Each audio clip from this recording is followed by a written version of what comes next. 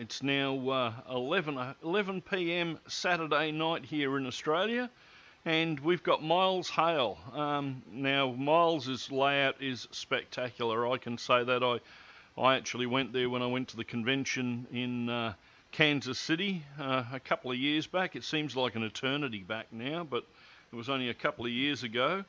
And uh, yes, I ended up taking three trips out to Miles's place. Not only do you get a spectacular ON30 layout inside, but there's a big G gauge layout outside, plus a ride on railway that you can uh, go around the backyard. So, yeah, a lot of fun was had, and it's great to see you again, Miles. So, um, I'll hand it over to you, and uh, you can entertain the masses. Well, I want to thank you for for putting all this together. I, you, as you may know, I came down to Australia uh, for your narrow gauge convention about four years ago, and I had an absolutely fantastic time. Great area, great area around you, and uh, it was great. Had a good time. Excellent. At any rate, um, I um, I started this railroad in ON 30. Uh, I used to be in ON 3 for almost I guess, 40 years, um, and always wanted to model Colorado, uh, Colorado narrow gauge. And so the first question you probably would ask is why did I change to ON30 and why am I sitting in the middle of the big city? Well, my best friend John Lawrence, who's down in San Antonio, is going to do the next hour uh, clinic with me on, on signage.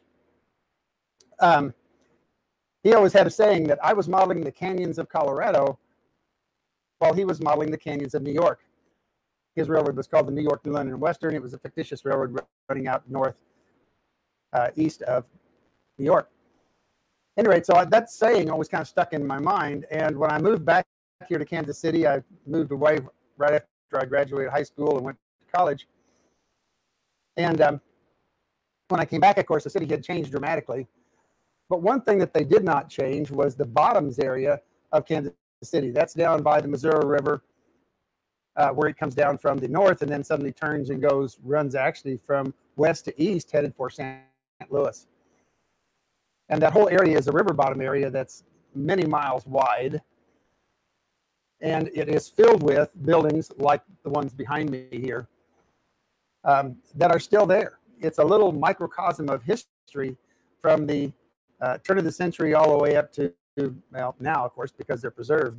But most of those buildings were built from 1900 probably to around 1940 or so. Um, so I wanted to model my home city. And I know that they never had any uh, 30 inch or probably never had any three inch running in town that I know of.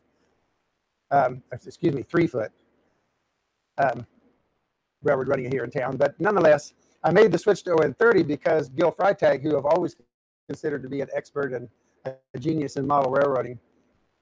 Uh, he and John Armstrong, I think, are really four, four thinking individuals in the terms of model railroaders.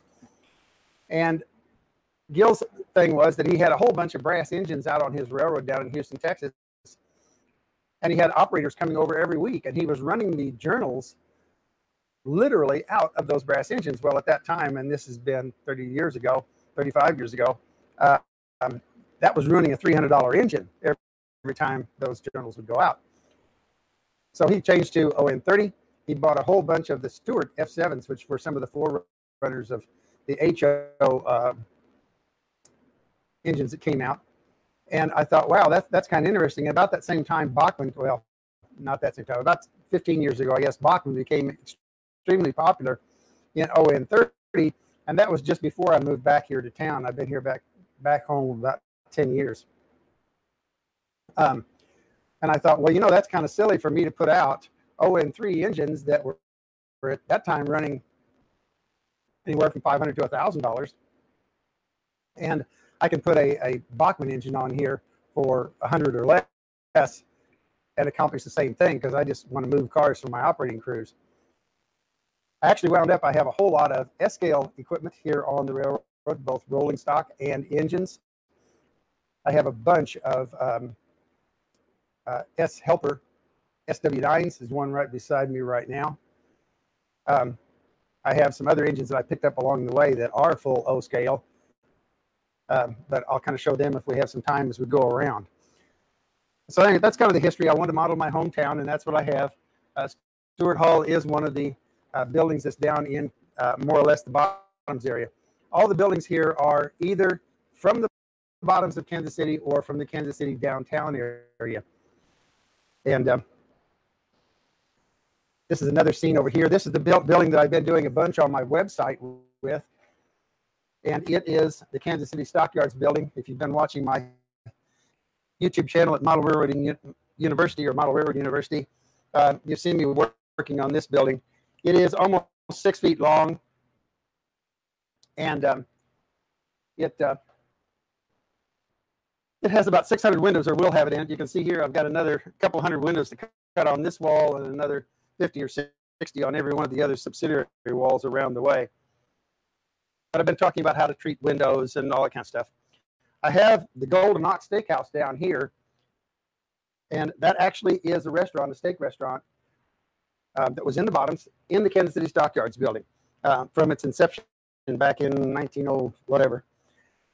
And my front entry here uh, for the um, model was copied from the actual building itself. This section is 3D printed, as are the bricks, as is all of uh, as are I think it's R, as are all of the windows. Here, they're all everything is 3D printed. However, this material is Sintra, and I'll talk about how I got to, to using it along the way. The medallions are all 3D printed. The cornice up here is all 3D printed. Um, everything's 3D printed. But what I want to do is, um, you can see that entryway there that's 3D printed. I want to walk you into the building. So what I have here is this little guy, and we'll go inside.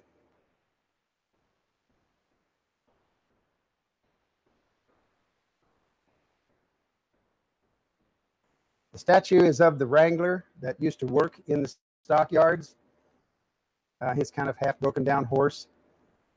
And uh, he's had a hard day. And that's the monument that is actually in the lobby of the building itself. This, of course, is the model.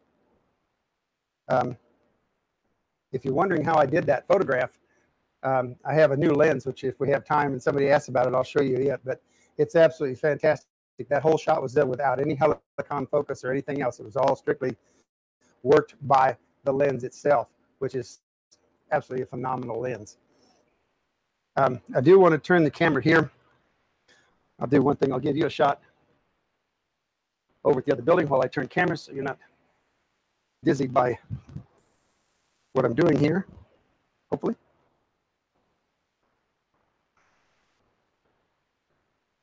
because there's a couple of things I want to do. If I can get the camera to cooperate with me. And it's tight. There we go.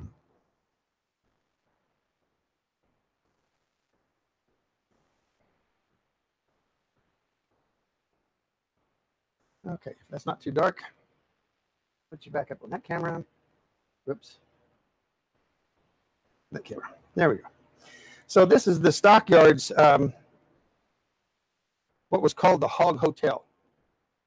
Hogs cannot um, sweat. So, get the camera locked down here. Cameras can, or hogs cannot sweat. Cameras can't sweat either. Hogs can't sweat. So what they did was they built this concrete structure, and this is all laser cut wood, um, so that I got precision alignment on all of the uprights. Then all of the railing here on the front and all of the fences inside were all 3D printed. Um, there's some uh, about 200 fences in here.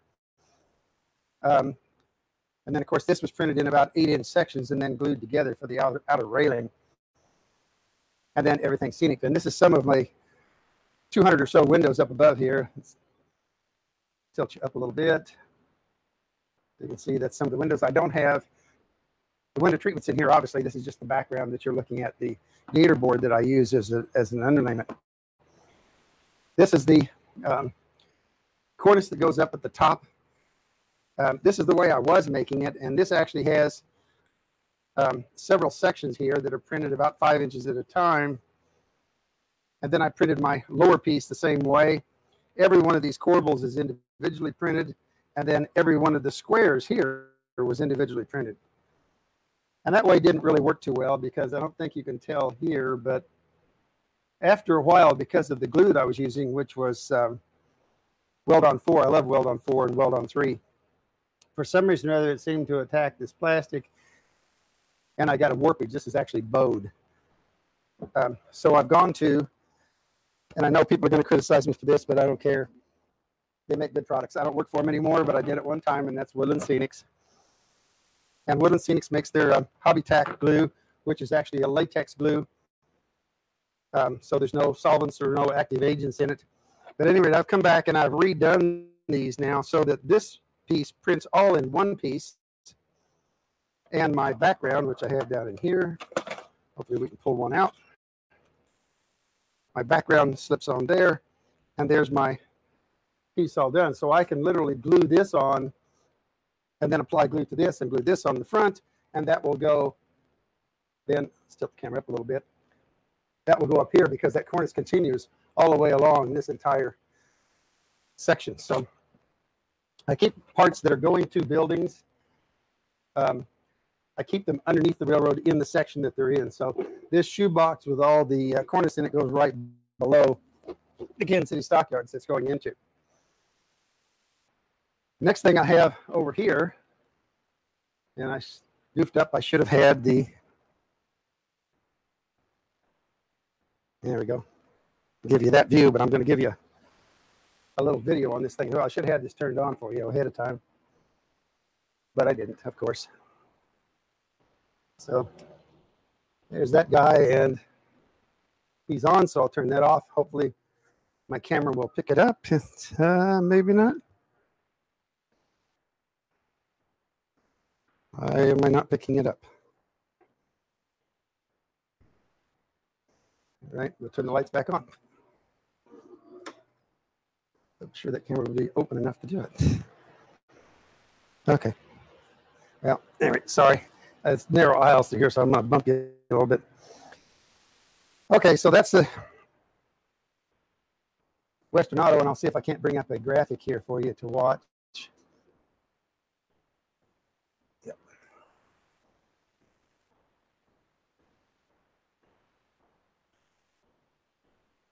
Sorry, it takes you a minute to bring things up here.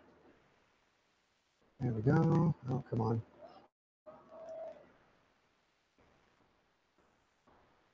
Okay.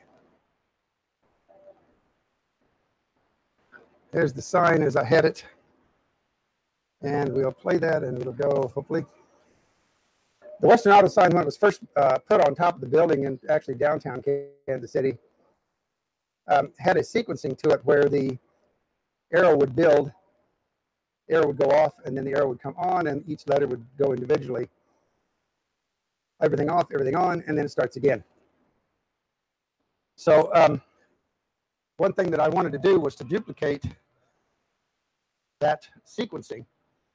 And that took a little bit of doing because nowadays, now that they've adjusted and changed the um, sign, they, they've actually refurbished it. Thank goodness they brought it back to life.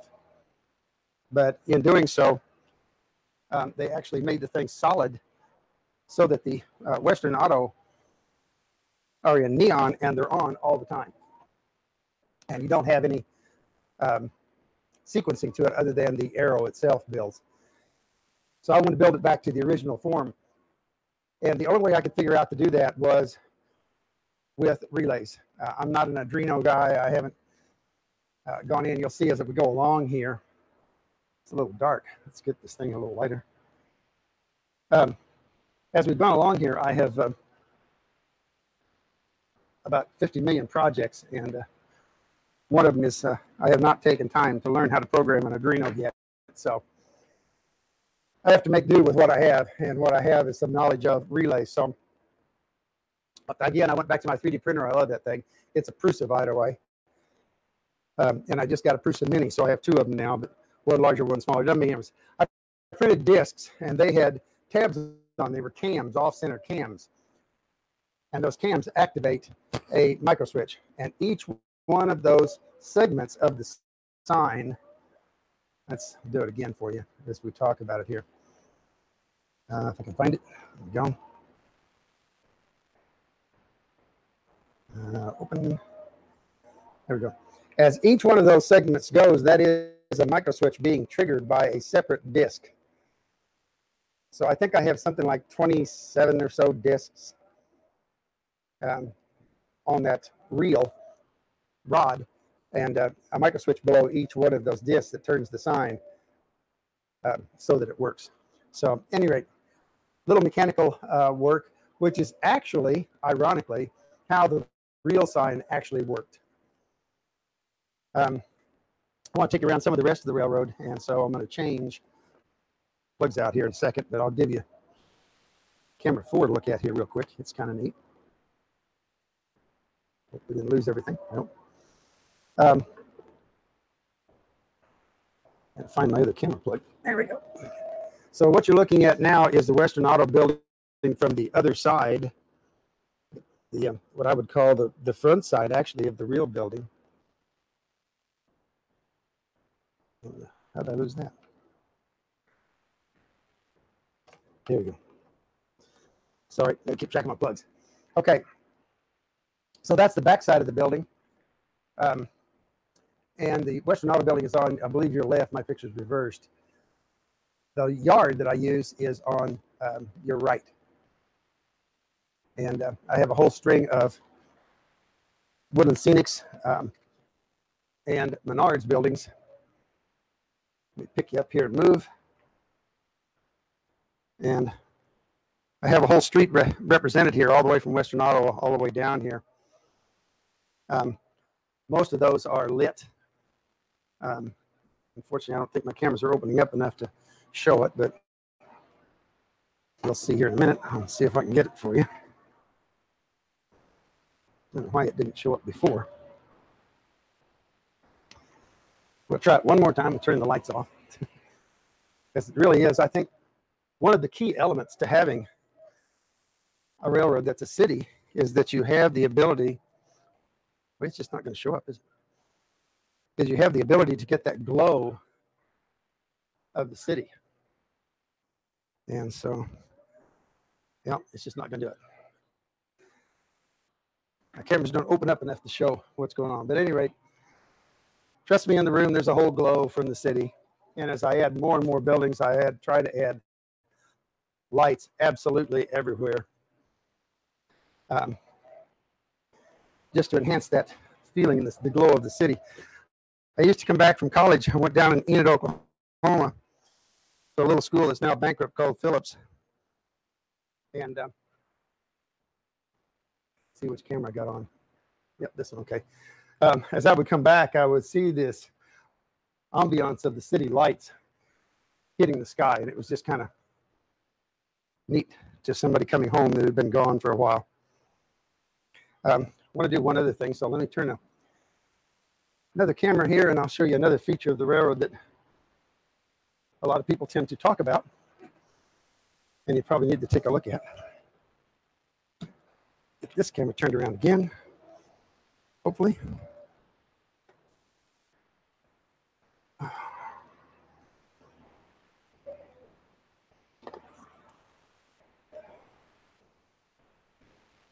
My apologies, I'm having. This is Murphy's Law. The railroad's working well, but the cameras are giving me a hard time. In this case, it was a tripod. Okay, let's turn this guy around. I hope I have a wide enough shot here to show you.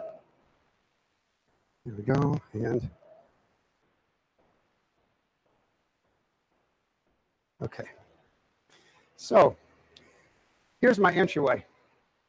I had gone to a great deal of work, and I'll talk about this in a second. I promised a minute ago. This is my background buildings. And the only thing that destroys the illusion here in the railroad is this doorway, because I have those buildings, as I'll show you in a minute, all the way around here. You are literally in the bottoms when you come in here. But I had this pull down um, shelf here, which allows, is my camera off? Say again.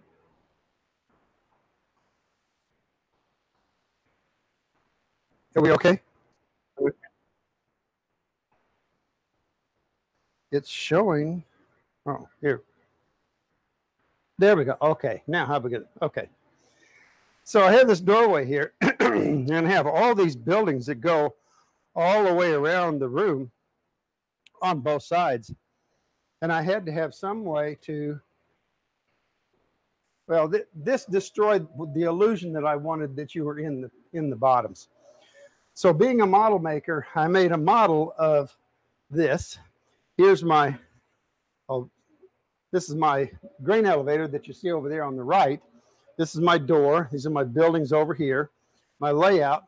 And what I decided was this represents my fold down here. If I took a fence and put it on the sliding bar here, I could move that grain elevator and hide my door. So if you watch, because this happens pretty quick, as I let this down, you can see my fence here pulling that. And when it drops into place, we have city now all the way 360 around the room. And I have the ability here, I actually have a switch on the turnout, which works very well, by the way. Um, here that is part of my Y, so I can turn cars here on this thing. My track at the back is my runaround track that goes all the way around. There is a closet door hanger, one of the sliding door hangers that's mounted on the wall over here, just behind my other elevator, so you can't see it.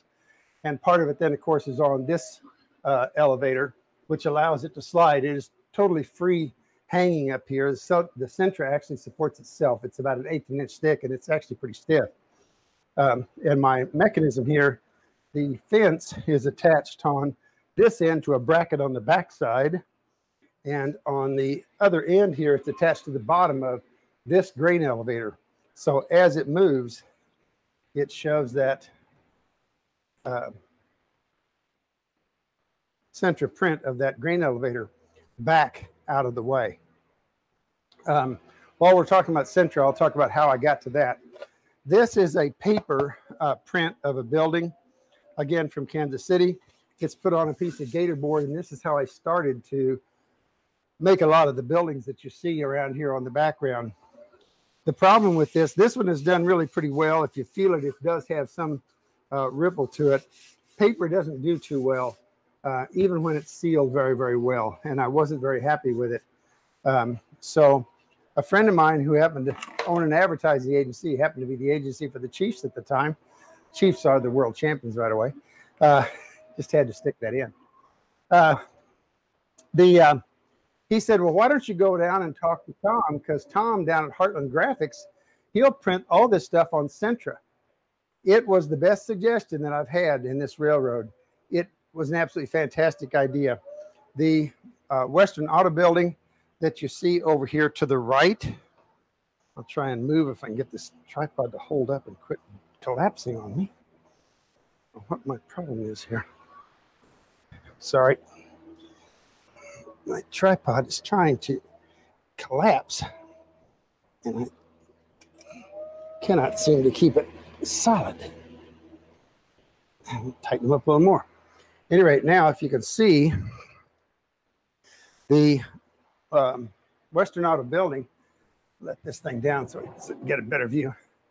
Uh, the Western Auto Building actually wraps around, and I built a wooden frame that was actually curved, and it duplicates the Western Auto Building the way it actually sets. Uh, it is a circular building, and the tracks did follow it. Um, this I can't change the focal length on this lens, so we'll just drop down a bit. There we go. You can see the tracks coming around. If I get this building out of the way, it'll look a little bit better. And uh, so anyway, I want to talk a little bit about building construction. Um, first of all, that horse statue that you saw, wow, that's white. I don't know if you're going to be able to see that or not.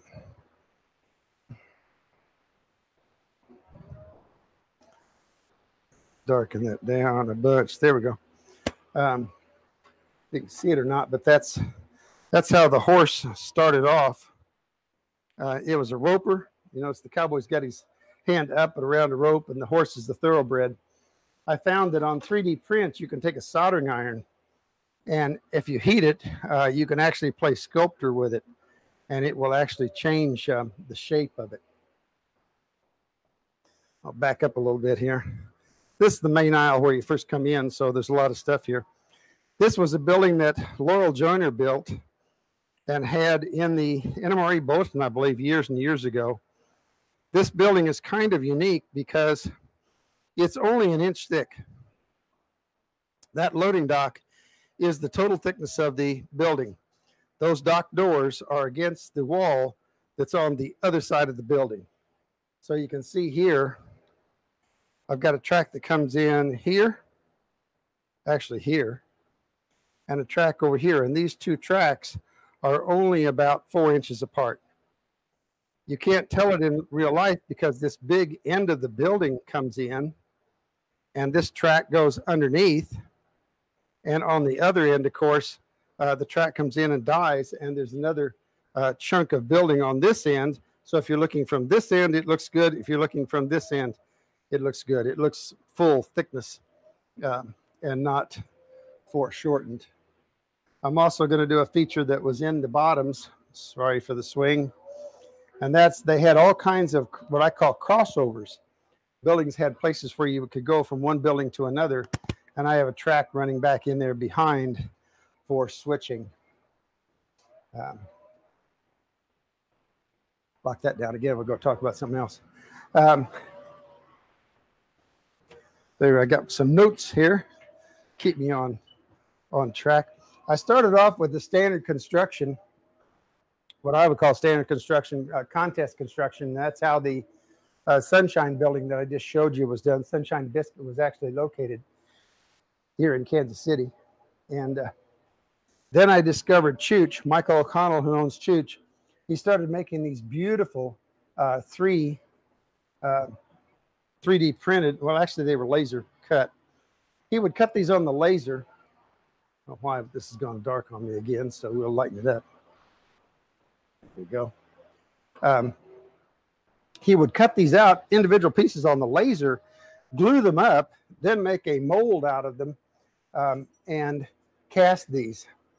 And so I have several of these out on buildings on the fronts because that's all he sold was the fronts. And then I've used the Sintra brick uh, around the rest of the building. That's my evolved method of making. And once I did that, then I decided, well, I could take the bricks on Sintra and I'll cut the windows out, which is what I did on the Kansas City Stockyards building.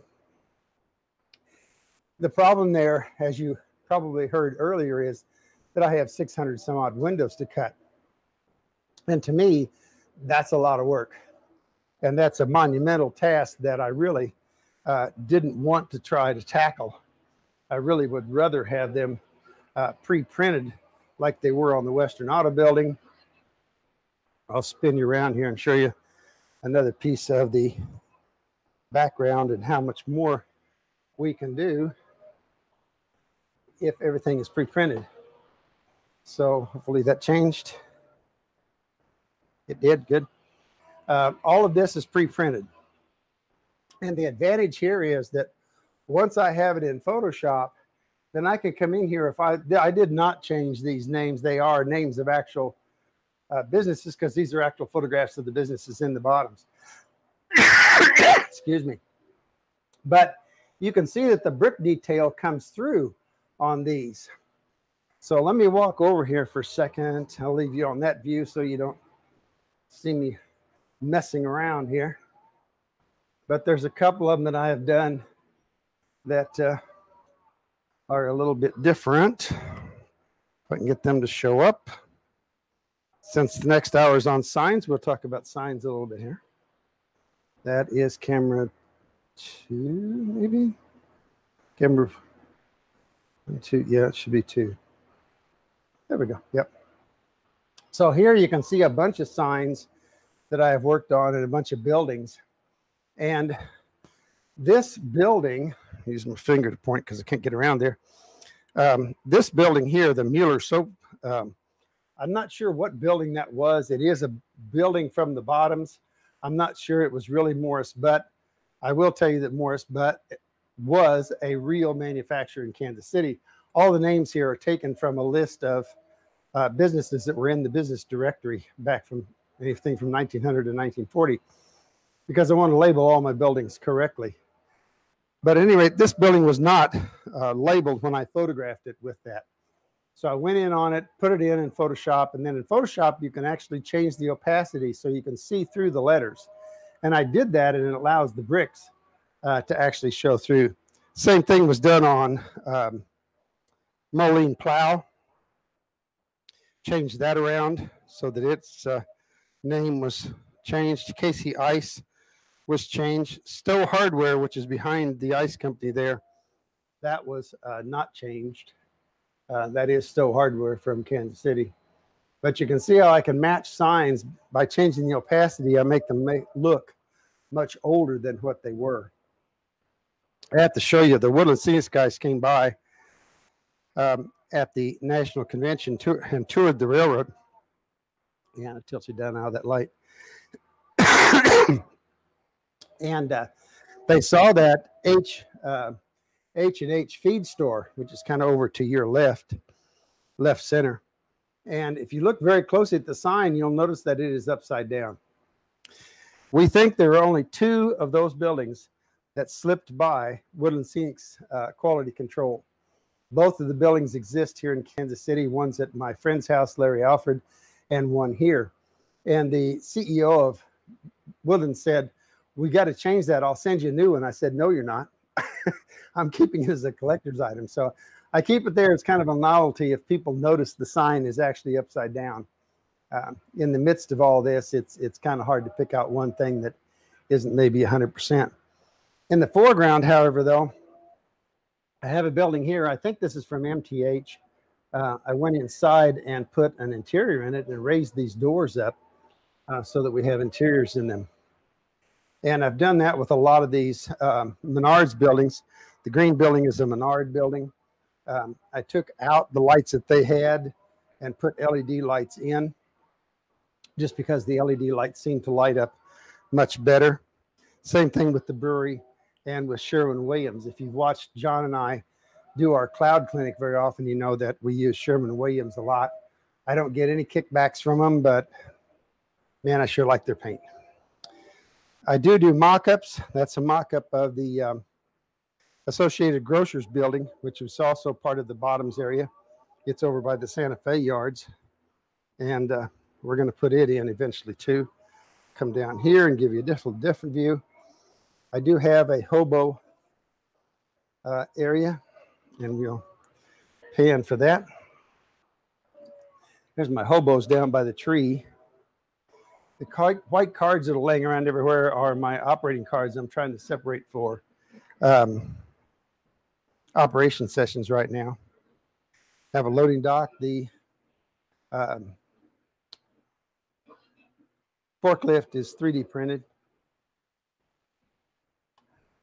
Done a lot of details on 3D printing. Burstein-Applebee is um, an electronics company here in town. They provide a lot of my electronics for the stuff that I use for the broadcast for Model Railroad University on YouTube. And the Kansas City skyline was shot from the Confluence Park, where the Kansas and Missouri River come together, which is on the west side of downtown Kansas City.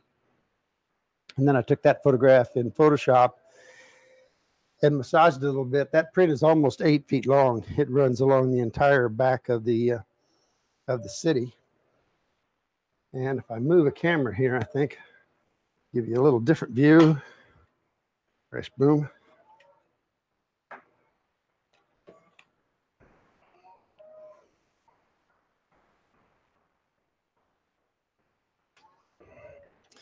Oh, come on, camera. Okay, let me go switch camera so you're on the right one. Gonna be a little different view of that same thing. That should be camera three, I hope. Ah, voila. Um, so this is a little bit of a scene from um, my grandmother's neighborhood that I tried to recreate here. Um, Kansas City has a lot of the stepped um, houses like this one. Let me get around here and I'll get, hopefully if I can get a little cord. Yeah, there we go. Um, It has the step neighborhood. That's kind of a, I don't know, given for some river town type neighborhoods. Doesn't have a subway. I'm sorry, I put one in because I needed it for the, the track the way it goes. I do have a cemetery off to the side over here. Um, all of the buildings there, I think you may be able to tell, have TVs in them that are glowing. I did a, a whole uh, episode on my channel on putting TVs into it because in the 50s, everybody had a flickering uh, tube type TV. My grandfather worked for Sealtest, so that's the um, Sealtest truck up there with the delivery guy. And uh, any rate, it's just, uh, I thought it was just a pretty good representation of the neighborhood where I grew up. Uh, this downtown area over here is uh, a representation of just a typical kind of suburban, not so downtown area of Kansas City. And the Kansas City background, of course, back behind that. And the beautiful clouds that everybody should have on their railroad, thanks to John Lawrence and his innovative technique for using stencils. Sorry, I have to give him a plug. Uh, he is my best friend after all, and fellow model railroader. I'm going to give you a view, a little bit different view on another camera. And we'll talk about some of it. Uh, two, I think that's right. Ah, how about that? Got the right camera. Um, tried to create again the city. Uh, forget the operating cards out of the way. Know, look a little bit better. A little bit of a view of downtown kind of things moving through. Plus the 50 Highway Motel was famous. It was out in Raytown, which is a suburb of Kansas City, out to towards the east. I actually grew up in Lee Summit, a little bit further out than Raytown, even. But uh, that's the Walters um, Highway Motel. I think they had it labeled 66 or something. But anyway, I came in on the printer and printed a Highway 50 logo because that's what the uh, motel was actually labeled, and uh, scraped off the one that was there for Walters and put the Highway 50 on. So this one um, mimics or looks like, I hope, um, the 50 Highway Motel that I remember driving by all the time because I would have to drive along 50 Highway to get from Lee Summit into Kansas City. The um, other project that I've been going on, I have to flip this camera to get it. This locomotive is a model of number 13 on the Kansas City Stockyards Railroad. They had their own railroad. And I'll see here if I can get this guy to, to run, and then we'll talk about systems that I use. Oh, come on, do the thing for me.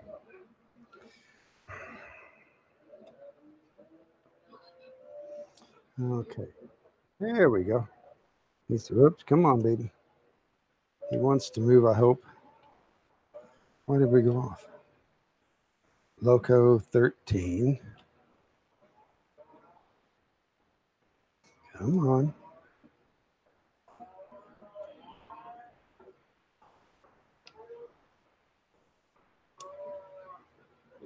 There we go. Okay, now yeah, it took off like crazy. He will crawl. He is um, powered by a SCAB battery decoder. But that engine is 100% 3D printed. Everything on it. The only commercial parts I used were two trucks and the motor. All the universals, all the rest of the drive system, frames, everything else, um, all 3D printed to represent the number 13, which was the switch engine for the Kansas City Stockyards. And then I had a photograph of an actual auction taking place. So you can see back here in the back is my auctioneer and some of the guys um, auctioning. They actually walked on top of the planks. You can see the two guys up there. And they had platforms on top where they put the straw or the hay so that they could drop it down into the feedlots uh, to feed the uh, cattle as they awaited um, purchase. We won't say what comes after purchase might be some kids watching. But at any rate, that's a representation. They actually had some 600 plus acres of um, pins all over uh, the stockyards area. It was a huge, huge area, second only to Chicago. Um, so, forgot to change my camera. You can't see me. Not that that's important. Let's flip it around anyway, just in case you might want to. There we go. Um, I'm operating three different um, systems, I think. I may have to count as we go because I'm not sure. I've kind of lost track. As a part of Model Railroad University, I always tried when I did my clinics at the NMRA, um, regionals and nationals, and out at other uh, jamboree type shows or whatever, I tried to have as many of the systems for operating trains as possible. Um, I used to have, I think, one of almost every DCC type system uh, that people could come up and try out. For the layout here, I settled on NCE. I think they're extremely reliable. Uh, they're usually beta tested long before they're released, which I think is absolutely fantastic. Makes it a little bit more user friendly. And since I really was a PE teacher, um, I'm really not an electronics expert. I figure everything out kind of as we go. Um, so I wanted something that was reliable and that I could understand. And NCE was my best um, choice as far as I was concerned. Then I decided, well, that's all good. But one of the big problems with any of the systems that get their power through the track is that they get through the power through the track. You have to rely on that wheel contacting that rail to get electronics or to get electrical uh, power signal, whatever's being transferred. It all comes through that wheel touching the rail. So I looked at dead rail, and SCAB at the time was coming in very, very, uh, they were really coming on strong. and I can't remember, but there was another one. I can't remember if it was Tam Valley or whatever. There was another one. I think it was Tam Valley coming on at the time. Both of them had their attributes. Attributes. Um, the SCAB reversed engineered. He took an NCE decoder, put his thing on it so that it would be a radio a receiver, made that digit or that uh, NCE decoder think that it was still on the tracks when actually it was getting a radio signal from the broadcaster or the or the controller and it powered off the battery. So you could put it on a table and it would run. It didn't need any track or any power or anything. I thought that was really a good thing it is somewhat limited in the number of functions that you have so tam valley came along and said well we're going to take the decoder we're going to do somewhat the same thing but we're going to have full functionality on the decoder the difference came in the fact that the SCAB one had what he calls a BPS, a battery power system monitor, whatever it is. It's a little board that goes in the engine and it picks up the power from the track and it does it continually. So all you need is a few sections of your railroad powered. I already had mine totally powered because of the NCE. So my batteries continually charge themselves back up. That was a great feature for me because Tam Valley required you to either have a separate plug and a switch to switch between the locomotive control and charging. You switched it over to charge and you plugged the battery into some plug that you put on the locomotive and it had to sit there and charge, or you had to take the battery out and charge it. And to me, that was a lot of trouble as you start to get to five to 10 engines, which I have about 10 on the railroad. Once you get to that many, remembering after every operating session to take every battery out and make sure that you got every one out and that you're recharging those was a little too much for me. So the SCAB seemed to be a better choice. Then I heard about Deltang, which is out of England. And Deltang is absolutely fantastic because our decoders here in the States, I think the smallest one is probably an inch by an inch by maybe a 16th of an inch thick or maybe a little little thicker than 16th. That's not bad. That's pretty small. But a Deltang decoder is smaller than your little finger uh, nail. And it's only well, it's probably less than a 16th of an inch thick. It is super, super small. The problem is, of course, it doesn't have the uh, battery power supply to it and everything else. You have to figure out how to do that. So you need a good hobby store with a good RC department, um, and you can use Deltang. But I have Deltang in a speeder, which unfortunately I didn't get out to bring in here. But at any rate, it's it's in a little um, O gauge Grandt Line speeder and you can't see the decoder or the battery or anything. I've got a battery in there that's half the size of the end of my little finger, and it will run for a couple of hours uh, because it has so little draw on the little tiny motor. But that's another way to do it is with Deltang, and I have all three of those systems uh, running at times here on the railroad. So that covers the, I think that. The only thing I didn't talk about was sound effects, and I don't know if you all have heard them because I've had the fan on here the whole time. It's a little warm. It's been near know 100 plus here in Kansas City lately.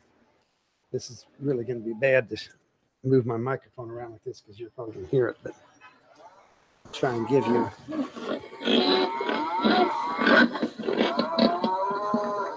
Can you hear that at all?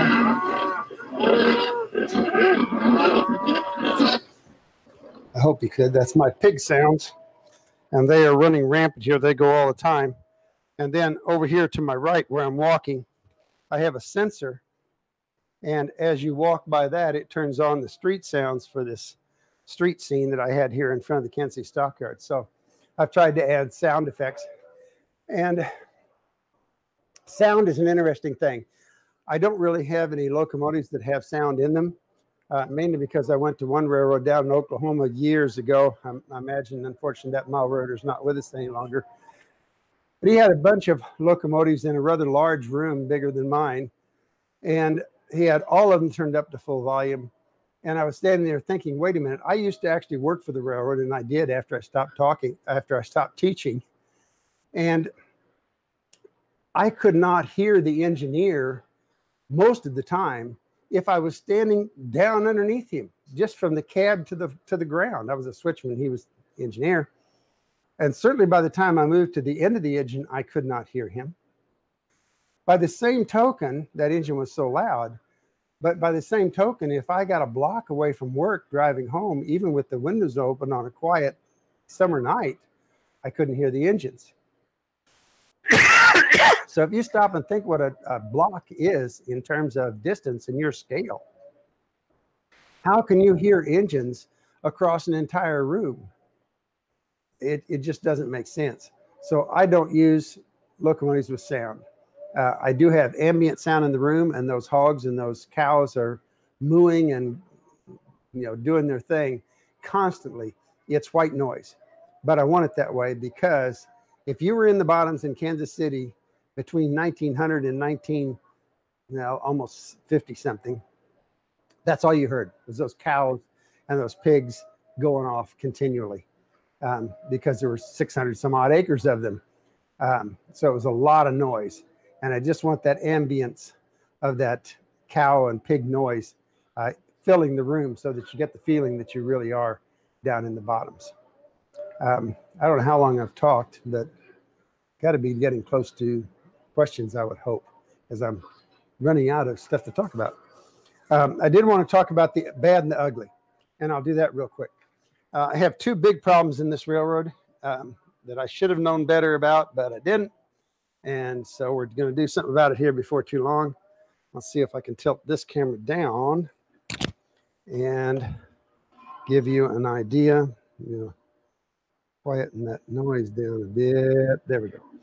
There, you can see that this roadway, if I get it focused, um, this roadway is terrible. It has warped. It's gone absolutely crazy on me.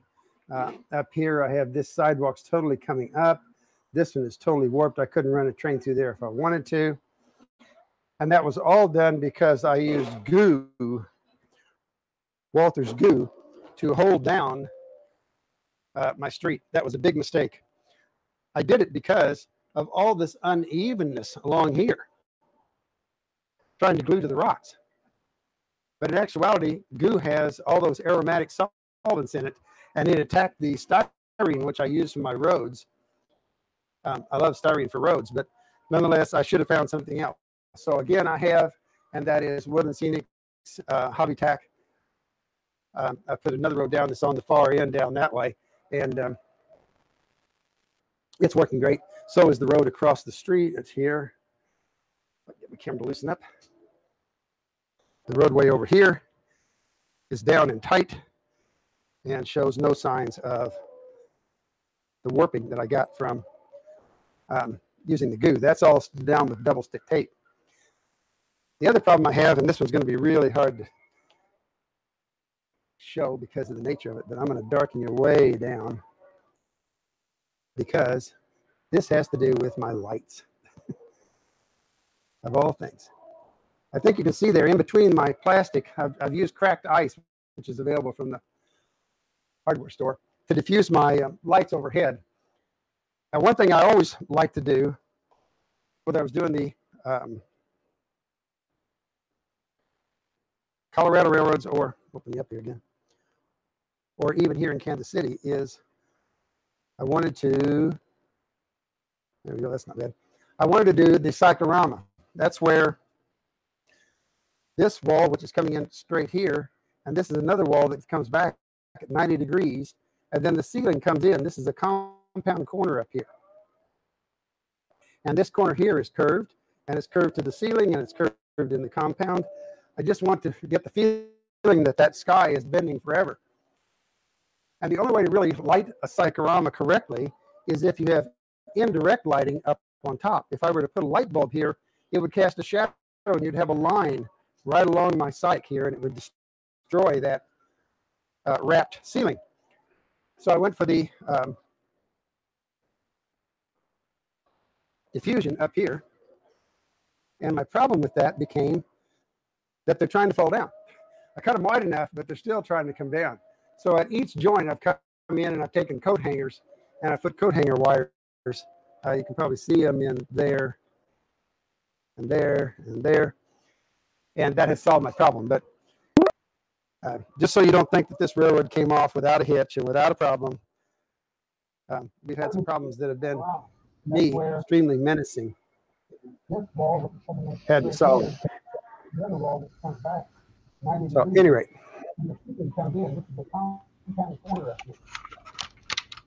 Am I off already?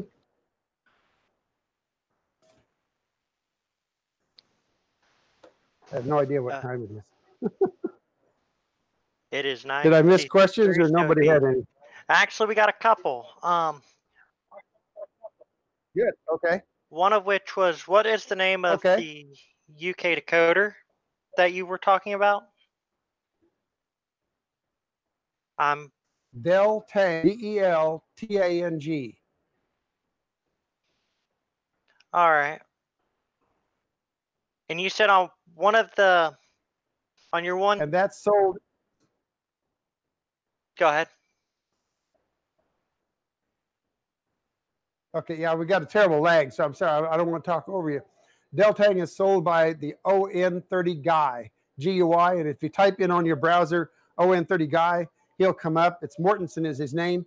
Um, and if he's not selling him right now actively, I'm, I'm not sure what the status is with with him. Uh, but he did sell them. I think you can also buy them directly off of uh, Amazon.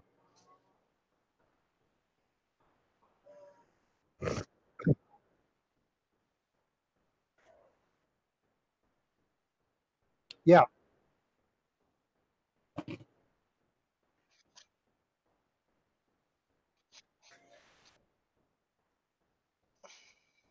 Yeah, they're absolutely fantastic decoders. They really are. Motor control is great. Uh, and Miles, I don't know if you mentioned it, but when did you start construction on this layout?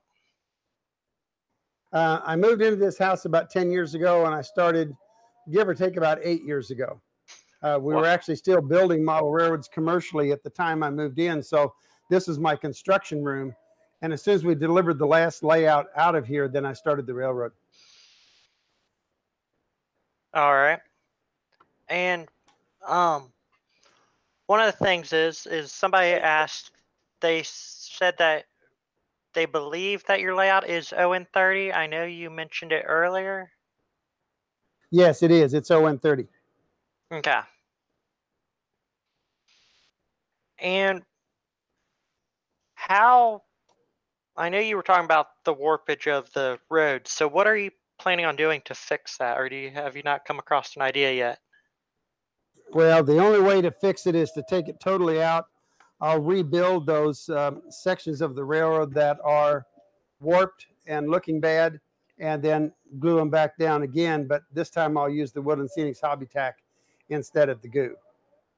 But really, once that plastic is that warped and the glue is the goo gone or the goo is still on the back side of it, you're not going to get rid of that outgassing without just throwing them away and starting again. So that's why it hasn't been done yet. It's another one of my projects that needs to be done. All right. And that appears to be the end of the questions that we have.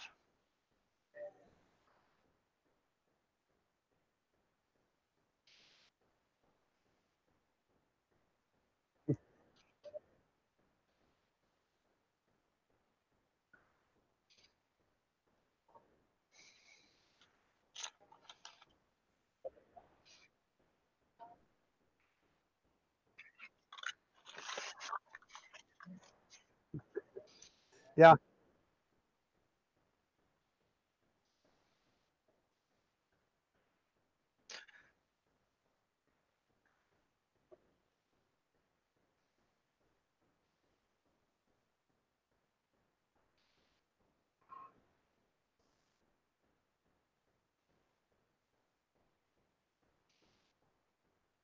Oh yeah, definitely. Um, we actually do have one new question. It is, how do you control your turnouts? Um, they're all controlled by Intuit switches. There's a man here in town who's 90 plus. He's a retired electrical engineer, and I don't know if you can see him back here behind me. This is one. Um, they stick on the fascia. They have a little micro circuit on here, and it, I don't know if you can see it change or not, but it changes to green on the normal route or on the reverse. And um, I'm using um, tortoise switch machines uh, to actually do the throwing, but the Intuit switches are uh, my controls out on the front of the layout. And I've matched, there's a graphic on the front of that that you can buy any configuration and he will custom make configurations for you um, and you can control them. Um, absolutely fantastic controller, not just because he's in Kansas City, but because it gives you a graphic, it gives you control, it gives you everything. And I'd, I'd support any model railroader who's 90 and still thinking enough to be able to do this kind of stuff. Uh, he's he's Yeah. he's a pretty he's a pretty amazing model railroader. His his mind is way ahead of most of us.